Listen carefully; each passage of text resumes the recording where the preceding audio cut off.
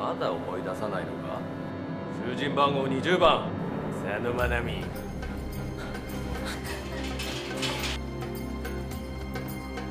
千葉市刑務所の一日が始まるぞ。やめて。身体検査だ。何かの間違いです。